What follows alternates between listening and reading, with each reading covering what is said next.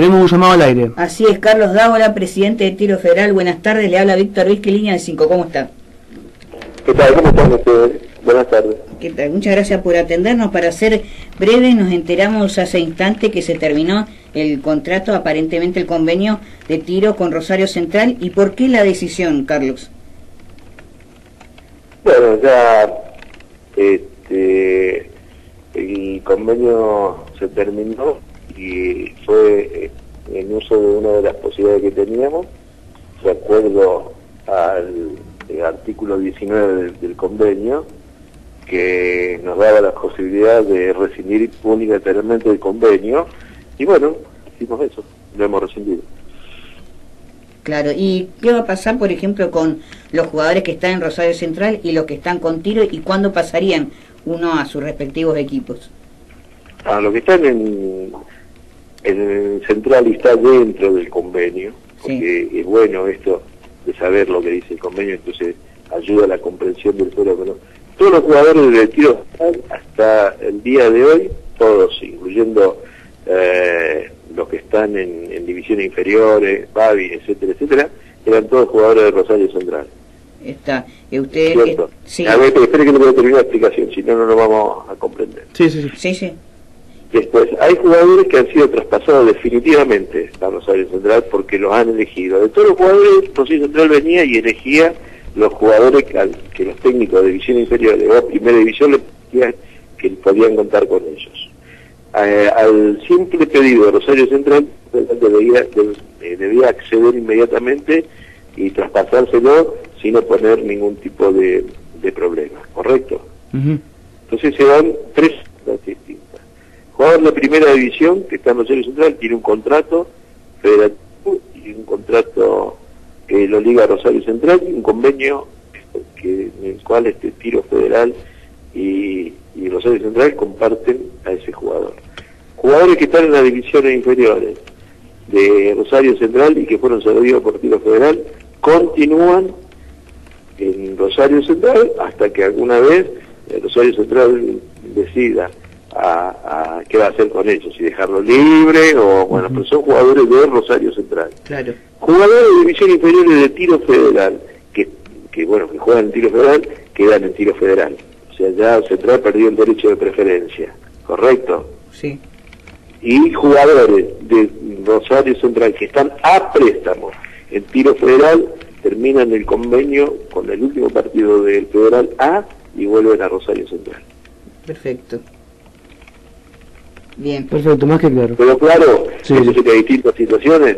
El jugador que está, caso Lucas Acevedo, que en Rosario Central, tiene un contrato con Rosario Central, un contrato profesional.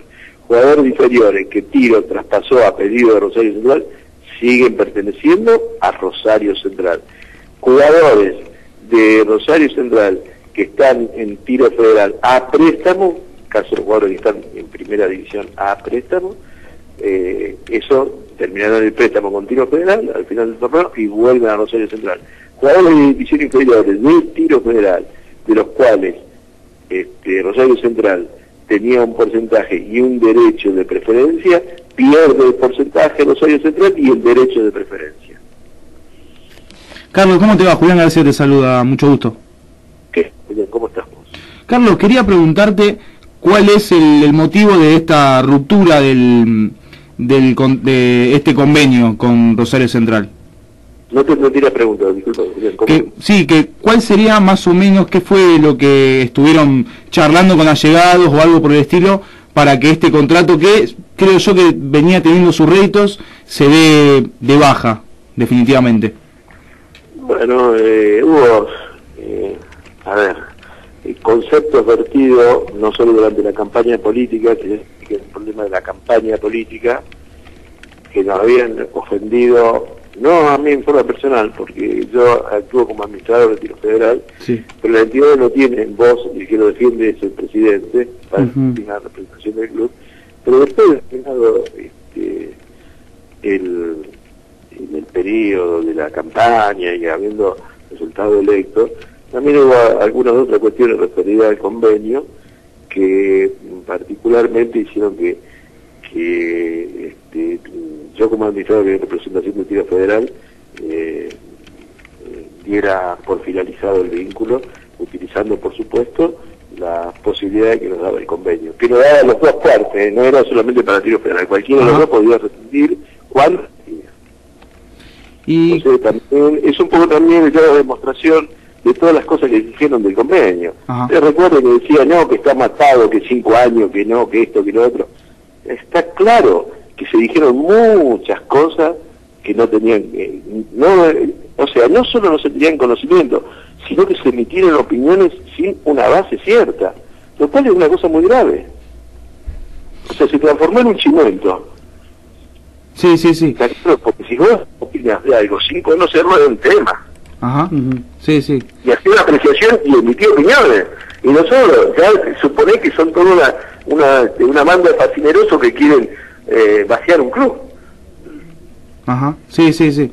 Y Carlos, vos... Entonces acá está claramente, y acá nos encontrando con este hecho unilateral, unilateral, que esto es lo que se podría haber hecho. Sí. creo que debemos tenernos respeto entre los dirigentes, ¿no? La falta de respeto muchas veces lleva a situaciones no queridas, y este es el caso. Y Carlos, ¿vos has tenido la chance de, de charlar con algunos actuales, con el actual gobierno de Rosario Central? No, no, nunca. nunca me refiero, eh, eh, referido a, a, esta cuestión operativa Sí, alguna vez tuvimos una reunión donde yo le expliqué, estaban varios dirigentes de, la actual comisión directiva, donde yo le expliqué, ¿eh? donde lo pudieron leer el convenio y donde se lo expliqué, yo de 15 minutos como alguien dijo por ahí, si no fueron más de dos horas, largamente más de dos horas, donde le expliqué punto por punto a todos los dirigentes de todas las agrupaciones, que se hizo la sede de Rosario Central, invitado por los dirigentes, los ex dirigentes de Rosario Central, y que algunos de ellos me acompañaron como Julio Colarianchi, y entre, bueno, nos prestamos a todas las preguntas que nos querían hacer. Así que el que no tenían conocimiento, mm, pero bueno, vamos a suponer que la memoria falla, ¿no? Viste cómo son los tiempos modernos, ¿no? Que hay tantas cosas. Sí, y bueno, Carlos, cambiando un poquito de tema, ¿cómo ves el, el actual panorama de, de, tiro federal en cuanto a lo futbolístico y también en cuanto a lo institucional? Bueno, institucional está como siempre, tío. Mm. Este, tratando de participar de la manera más digna y, este, con inconvenientes propios de cualquier club de la República Argentina que está en un torneo que es muy duro, costoso, pero que nos da la gran posibilidad de ascender. Nosotros vamos a seguir participando y vamos, estamos, yo digo que estamos a punto de ascender, pero no estamos tan lejos. ¿eh?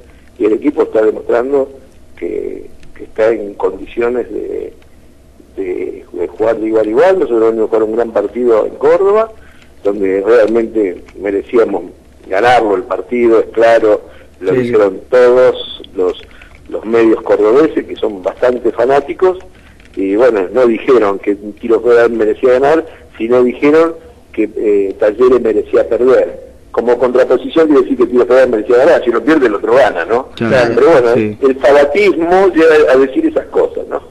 Tal cual. Pero está en todos los medios y en todos, si ustedes entran en, este, la voz del interior o la voz se llama ahora el Mundo B, que es el suplemento, o entran en todas las noticias de taller, en el Mundo Azul y todo lo demás, ahí tienen todas las crónicas y si la leen, la conclusión es que Tiro Federal o que Talleres mereció perder el partido.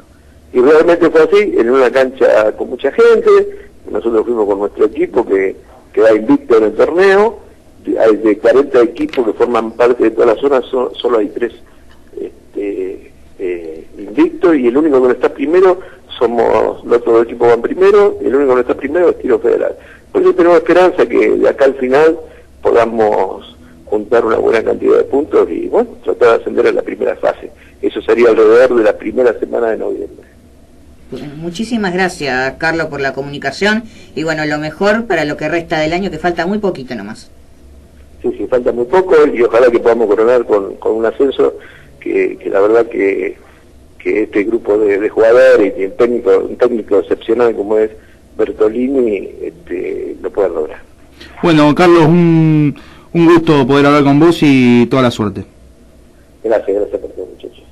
Ahí pasa